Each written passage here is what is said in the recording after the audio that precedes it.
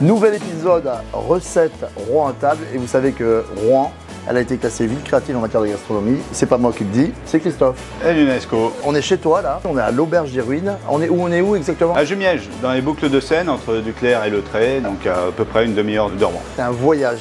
On a tous ces légumes extraordinaires là et on y va, c'est parti. Une petite recette très simple, vous allez voir. Euh, Simple et efficace. simple et efficace, on y va, c'est parti. Allez.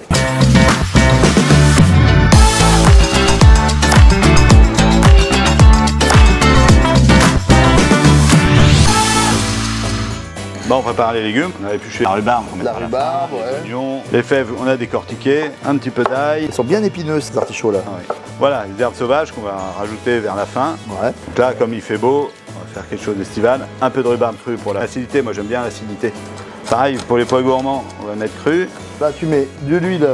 L'artichaut, on va les faire voler un petit peu. Puis Ok. comme ça cuit plus longtemps que les autres, on va les laisser un petit peu revenir. Pendant ce temps-là, on fait des fèves. On, on- on épluche les plus grosses fèves.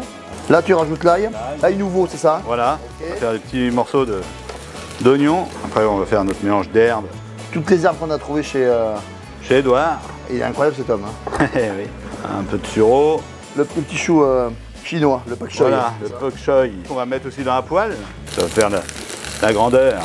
Tac. On va mettre le plantain aussi. Ah, tu mets le plantain. Oui. C'est le seul produit qui est pas local. Voilà, le poivre, les épices.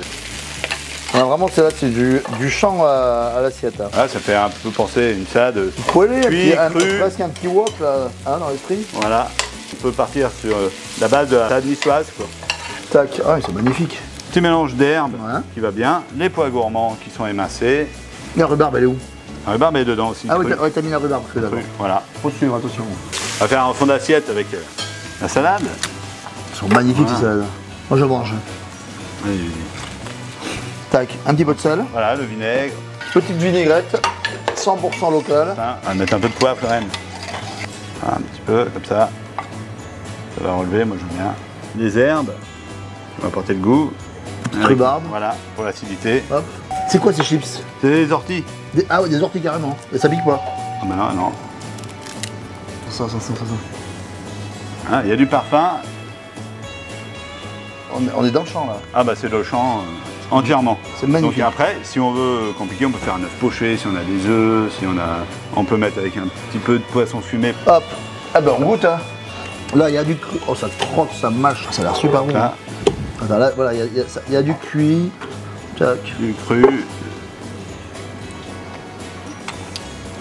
Génial. Hein Juste génial. Hum. C'est simple et efficace. Vous devriez goûter. C'est incroyable. Bravo. Il faut que ça soit bon, simple. efficace. Franchement, pas trop salé, c'est juste assaisonné, la petite vinaigrette, c'est juste génial. À très bientôt pour un nouvel épisode de Rond à table.